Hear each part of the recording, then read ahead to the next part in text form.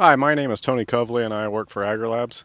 Today we're at the Ag Plus test plot and uh, Ag Plus has invited us to be a part of this test plot this year and we've had some input on this test plot.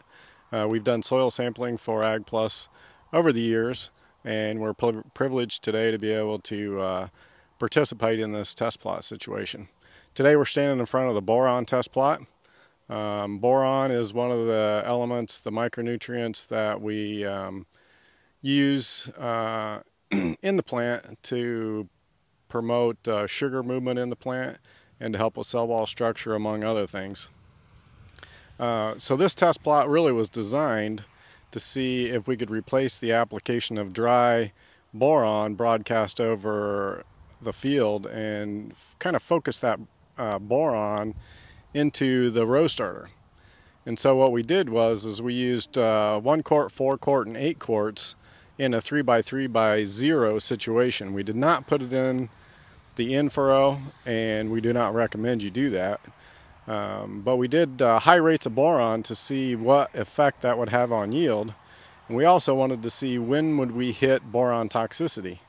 And as you can look down this test plot here, you can see that the one quart, four quart, and eight quart, uh, we saw a little bit of boron toxicity early on when the plant was little, but that that grew out of that and right, right today we have some pretty nice looking plants. As we go through the season uh, with this dry weather we're experiencing and these hot weather these hot weather conditions right now um, we hope to hope this test plot finishes out strong but at the end of the year we'll be able to see what effect boron rates had on the soybeans